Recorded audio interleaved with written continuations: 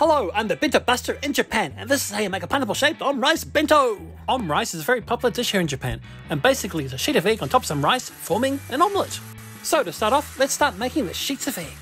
In a bowl, whisk three eggs well, then strain the mixture. Yep, strain it, then pour half of that mixture into a fry pan. Cook over low heat, and if any bubbles appear, give them a poke with a chopstick. You only want to cook the bottoms. When it starts to firm up, it's done. So take it out and repeat the process. Okay, and now we have two rectangular sheets of egg, so now it's time to trim the edges.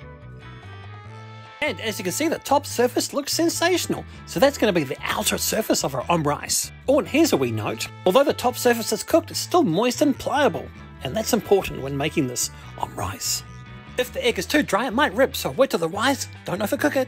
The next step is to cut the egg like so into equally sized strips. Okay, now it's time to break out a large sheet of plastic wrap. And on top of the plastic wrap, I'm going to start weaving the egg pieces together. And how do you weave it? Well, you do it like this. You pull a few back and you thread one in, and just repeat that process. And pretty soon you'll have a nicely woven egg mat. Now don't rush it, because if you do, you might tear a piece of egg. And that's why you want your strips of egg to be nice and flexible.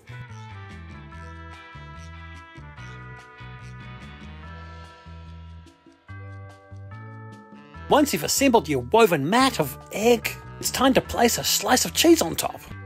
And on top of that, place a handful of flavoured rice like so. Now don't be shy, get in there with your hands and shape the rice like this and place it on top just like that. If you have time, you can make the rice from scratch, but if you're in a hurry, straight from a packet is fine. Now carefully lift the plastic wrap along with its contents like so, and seal it up by giving it a wee twist. Then start to shape it so it looks like a pineapple. Now, to some people who aren't in the know, they'll say, hey, that's a mango. But listen, guys, it's a pineapple, okay?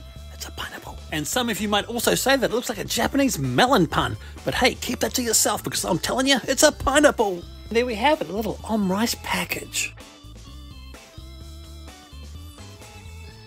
Okay, now it's time to unpack my om rice package into my bento box and make it look more like a pineapple and less like a mango or melon pan. Now that the om rice is in place, there's still a fair bit of space there, so I'm going to fill that up with some pasta. And on top of that, to form the top of the pineapple, I'm going to place some strategically cut snap peas. I gave them a quick boil and they are delicious. Okay, so far so good. Everything seems to be holding in place.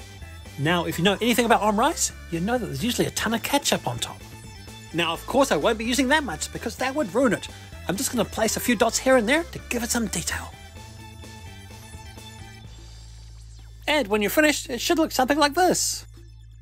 Da da da. And on rice, it looks like a. Mm, man, no, a pineapple.